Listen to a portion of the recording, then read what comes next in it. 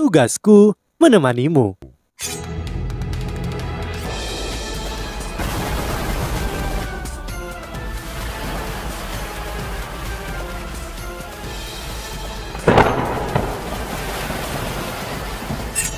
Hai sahabat pasuk, kembali lagi bersama alur cerita versi novel Solen 2 Sekte yang tak tertandingi. Jangan lupa like, subscribe, dan nyalakan tanda lonceng. Mari kita lanjutkan. Jika kupu-kupu Dewi Cahaya Wangdong puncak keindahan jiwa binatang, Pagoda Cahaya Kibau adalah puncak keanggunan jiwa alat. Suara teriakan Ning Tian terdengar. Keterampilan pertama, kecepatan. Cincin jiwa pertamanya menyala Dua sinar cahaya ditembakkan dari pagoda mendarat di tubuh Wu Feng dan Narman Yun Er. Yu Hao telah mengaktifkan deteksi spiritualnya di awal pertandingan, tetapi dia tidak dapat merasakan sirkulasi kekuatan jiwa Ning Tian atau keterampilan jiwa yang dilepaskan. Pagoda Ning Tian tampaknya memancarkan energi kekuatan jiwa misterius yang melindungi auranya. Bahkan sebenarnya bisa memblokir deteksi spiritual Yu Hao Wang Dong dan Xiao Xiao sangat tidak diuntungkan. Kecepatan Wu Feng dan Nanmen Yun Er menggila. Jika tidak ada deteksi spiritual Yu Hao, keadaan mereka pasti lebih parah. Telapak tangan Nanmen Yun Er melesat ke Xiao Xiao dengan kecepatan yang mencengangkan. Dengan sigap, Yu Hao menarik Xiao Xiao dari bahaya. Xiao Xiao telah mengaktifkan tiga kuali penghancur kehidupan. Ledakan keras bergema, cincin jiwa pertama Xiao Xiao menyala gempa kuali diaktifkan, Nanman Yun Er bisa dianggap sebagai lawan tercepat. Bahkan mungkin seorang penatua jiwa yang gesit tidak bisa bersaing dengannya. Ia mengaktifkan cincin pertamanya, melesatkan serangan lagi. Tiga kuali penghancur kehidupan Xiao Xiao dipisahkan, mengaktifkan gempa kuali. Dengan efeknya, Nanman Yun Er berhenti. Ia linglung sejenak, kombinasi gempa kuali Xiao Xiao dan deteksi spiritual Yu Hao pasti bisa dianggap sebagai senjata yang sangat kuat. Kuali Xiao Xiao melesat, menyerbu membanting tubuhnya.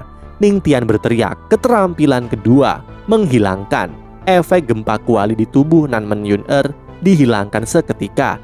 Ia langsung bergerak mundur. Yu Hao tercengang menatap Ning Tian. Ia bisa dengan cepat menganalisis perubahan di arena pertempuran Keterampilan pertama meningkatkan kecepatan, sedangkan keterampilan kedua menghilangkan semua efek negatif atau yang menyegel kemampuan rekannya.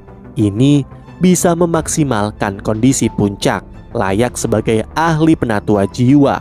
Bukan hanya Yu Hao yang terheran-heran, lawan pun juga seperti itu.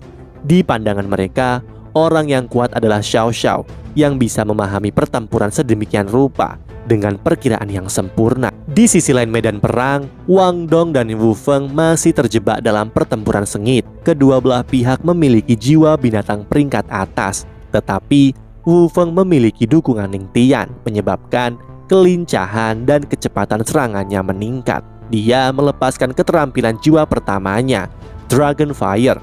Lapisan api muncul membuat semua serangannya bersuhu tinggi, membuat tidak nyaman pada Wang Dong.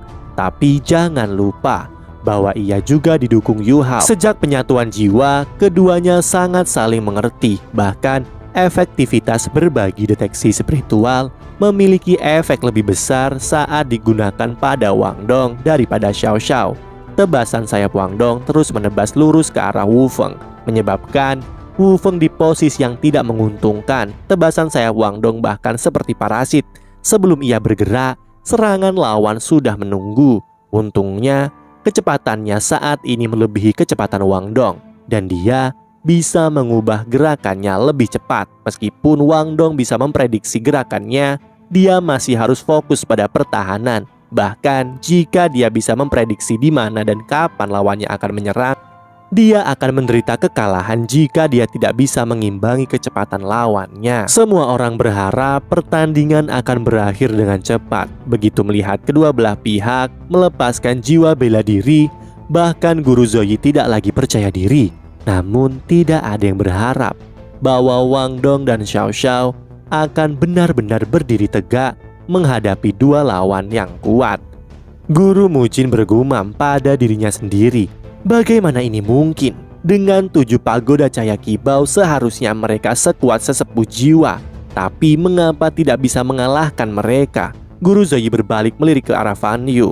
Guru Zoyi mengangguk menyebabkan Guru Fan Yu segera mengerti apa yang sedang terjadi. Matanya menyala dan tanpa sadar dia melirik Yu Hao yang hanya memiliki cincin jiwa 10 tahun yang berkedip di belakangnya. Dia saat ini adalah orang yang paling tidak mencolok di antara enam orang di arena. Apakah dia? Ya, itu Huo Yu Hao, guru Fan Yu sungguh terheran-heran meskipun tujuh pagoda cahaya kibau puncak sistem support mata roh Yu Hao adalah puncak dari sistem kontrol jiwa bela diri. Meskipun ia melawan dua Grandmaster dan satu penatua jiwa, ia masih bisa mengandalkan kemampuannya untuk menangkal keuntungan dari pagoda cahaya kibau. Bagaimanapun, ini adalah kekuatan cincin jiwa sejuta tahun dengan bantuan pembagian deteksi spiritualnya, dia berhasil mengendalikan seluruh medan perang. Kedua belah pihak terjebak dalam jalan buntu. Wang Dong, Wu Feng, Xiao Xiao, Nanman Yun Er di keadaan pasif. Mereka dalam kondisi bertahan, berusaha tidak memberi lawan peluang. Jejak keraguan melintas di mata Ning Tian, sehingga dia secara tidak sadar melihat ke arah Wu Yuhao. Di sisi lain, Wu Yuhao juga menatapnya. Tatapan mereka bertemu dan Ning Tian menyipitkan matanya dengan cara yang agak dingin. Namun, Wu Yuhao mengangguk ke arahnya dengan senyum di wajahnya. Apakah itu dia? Hati Ning Tian bergetar. Dia melihat cincin jiwa cahaya putih permata. Tim lawan benar-benar mengabaikan Wu Yuhao sejak awal. Tapi dengan keadaan ini, Ning Tian menyadari ada yang tidak beres. Ia adalah orang yang pertama sejak pertandingan sebelum-sebelumnya yang mencurigai Yu Hao. Cincin jiwanya telah menyala sejak awal pertandingan. Ini menandakan bahwa dia telah menggunakan keterampilan jiwa sepanjang waktu. Apa jiwa bela dirinya? Keterampilan jiwa macam apa yang dia lepaskan? Begitu dia menyadari ini, Ning Tian berteriak, Yuner, serang si satu cincin di belakang. Nanman Yuner melesat, tapi ia tak langsung menyerang Yu Hao atau Xiao Xiao, tapi ke arah Wang Dong yang ada di dekatnya. Hal tak terduga terjadi. Sepertinya keduanya sudah terkoordinasi. Nanman Yuner dan Wu Feng menyerang secara bersama-sama ke arah Wang Dong dengan mengaktifkan keterampilan kedua mereka dan didukung dengan pagoda cahaya Kibao Ning Tian. Kecepatan serta kekuatan serangan keduanya langsung meningkat dengan cepat, melesatkan serangan dengan penuh menekan Wang Dong. Mereka jelas ingin mengakhiri semuanya dalam satu gerakan karena Wang Dong adalah satu-satunya master sistem serangan di tim mereka. Setelah ia kalah, Xiao Xiao dan Yu Hao tidak akan cocok melawan mereka. Ini adalah metode memanfaatkan kecepatan. Bahkan jika lawan mereka tahu apa yang mereka rencanakan, mereka masih akan ditekan. Namun, bagaimana mungkin tim Huo Yuhao hanya duduk dan menunggu kematian? Mereka tidak dapat melakukan gerakan besar karena kecepatan mereka yang lebih rendah. Namun, mereka bertiga masih bereaksi dengan tiga cara berbeda. Xiao Xiao mengangkat tangannya ke udara dan temperamennya tiba-tiba berubah. Dua cincin jiwa kuning yang mengelilinginya tiba-tiba diganti dengan cincin jiwa kuning tunggal tiga kuali penghancur kehidupan hanya melayang di atas kepalanya sementara seruling berwarna giok telah muncul di tangannya.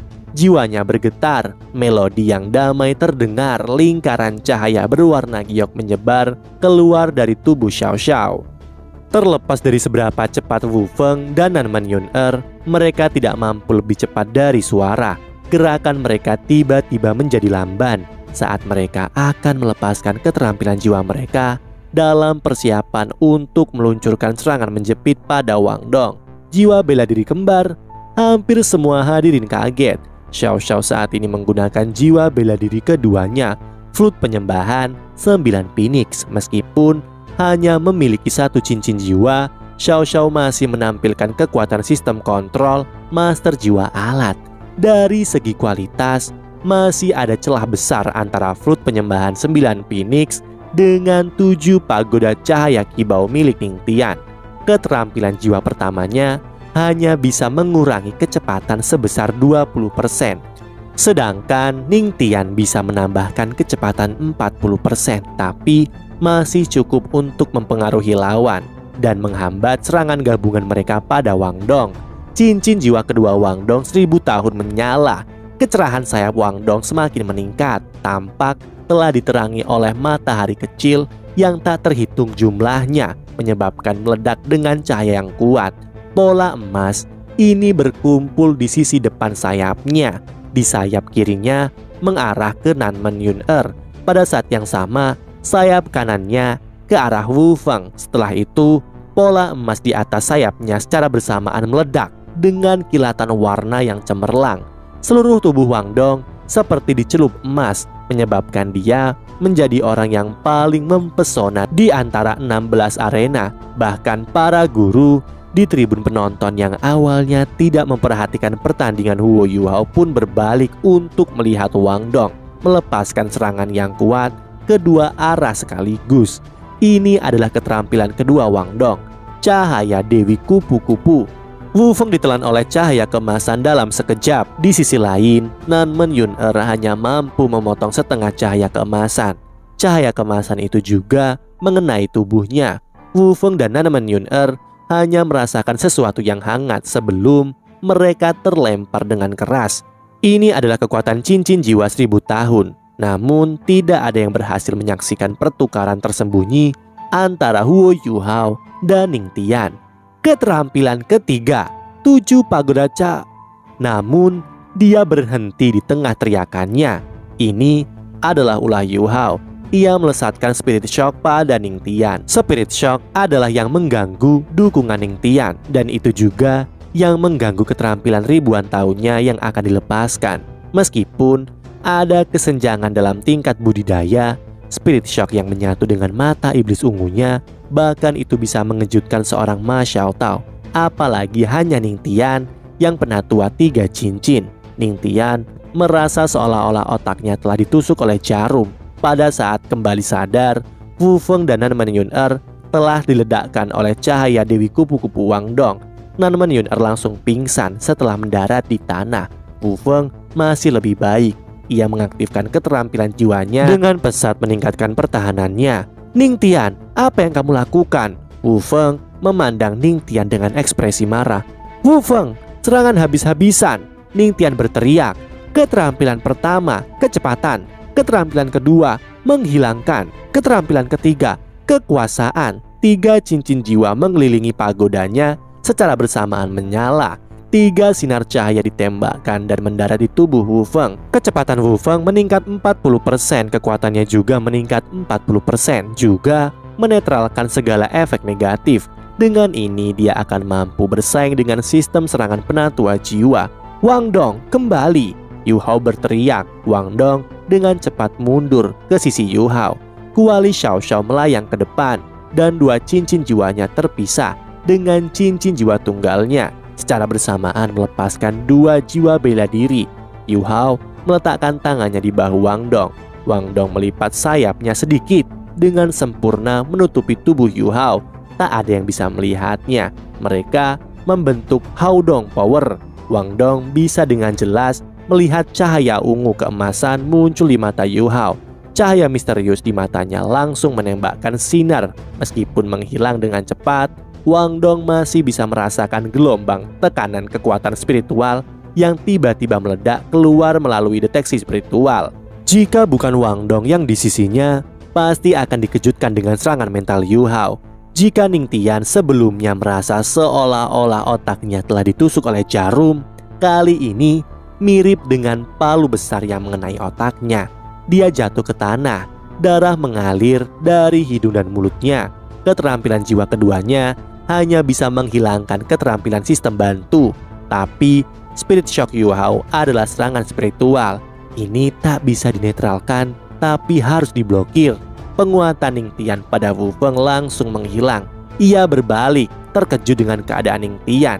Ia langsung menangkap Ning Tian. Wu Feng panik. Apakah kamu berdua melakukan ini? Xiao Xiao heran. Wang Dong tersenyum senang, sementara Huo Yu Hao mengangkat bahu. Sang pengawas sedikit tercengang. Setelah Yu Hao mengingatkannya, ia mengumumkan kemenangan tim Wu Yu Hao. Wu Feng memiliki ekspresi marah di wajahnya.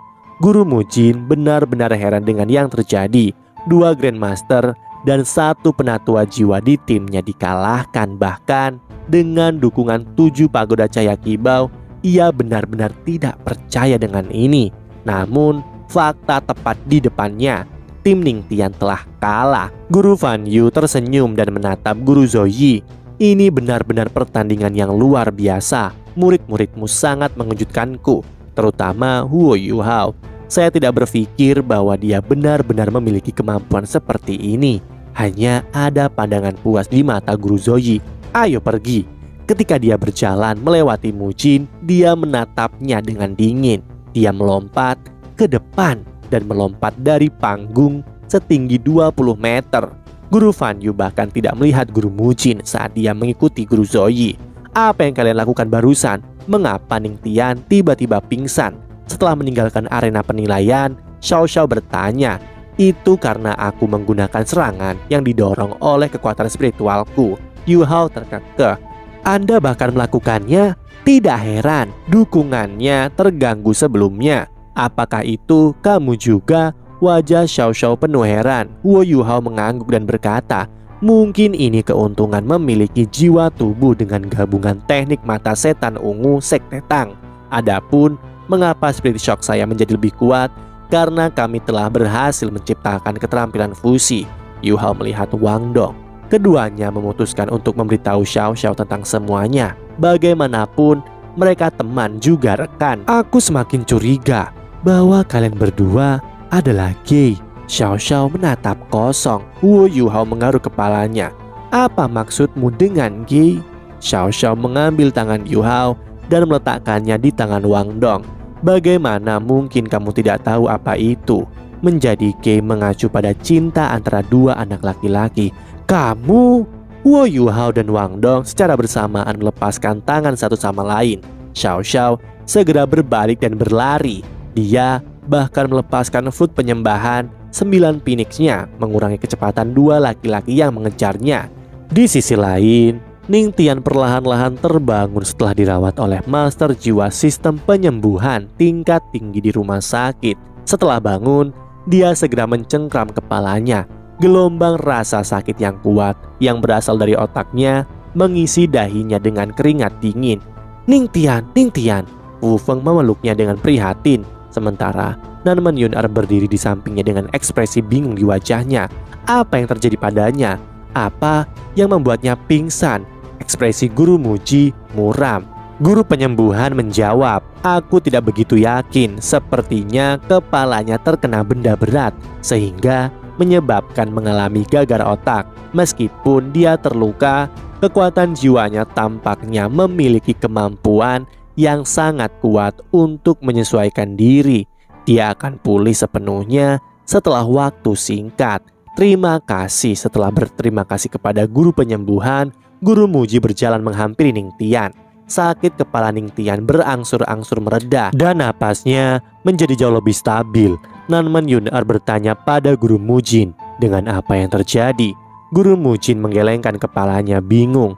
Ia tak bisa melihat apa pun yang terjadi. Setelah 15 menit penuh, Ning Tian perlahan-lahan bangun. Sakit kepalanya sudah mereda dalam jumlah besar dan pemikirannya perlahan-lahan kembali. Guru Mujin, apakah kamu bisa melihat mengapa kita kalah dari stand penonton? Ning Tian bertanya. Guru Mujin tertegun. Kamu juga tidak tahu? Saya melihat cahaya keunguan muncul di depan saya, seperti palu besar menghantam kepalaku. Saya tidak bisa mengingat hal lain setelah itu. Wu Feng dengan marah berkata, Bajingan itu berani menjadi begitu kejam. Gurumu kita tidak bisa membiarkannya begitu saja. Lalu, apa yang kamu rencanakan untuk lakukan? Ini hanya sebuah penilaian. Apakah Anda berpikir bahwa ini adalah perang sekte? Guru Mujin berkata dingin. Guru Mujin meminta Ning Tian pelan-pelan untuk mengingat apa yang terjadi secara detail. Ning Tian menjelaskan, Aku mencurigai Master Jiwa satu cincin. Cincin jiwanya menyala selama pertandingan, tapi kita tidak bisa mendeteksi apa pun, tapi bahkan ia bisa mematahkan keterampilanku untuk memperkuat Wu Feng dan Nanmen Yun Er. Pada saat itu, kepala saya terasa seperti ditusuk oleh jarum, namun serangannya jauh lebih kuat untuk kedua kalinya. Mujin berpikir, bahwa pasti ada suatu rahasia. Pantas Guru Zoyi sangat percaya diri. Setelah menenangkan kemarahan yang ada dalam hatinya, Guru Mujin berkata, "Meskipun kamu kalah, kamu telah lulus ujian penilaian. Jadikan ini sebagai pengalaman untuk saat ini beristirahatlah dengan baik." Terima kasih Guru Mujin. Guru Mujin dan Nanmen Yun-er berlalu pergi. Nyonya muda, kita tidak bisa membiarkan ini begitu saja. Bajingan itu berani menyakitimu. Haruskah kita menggunakan kekuatan klan? Kata Wu Feng penuh kebencian.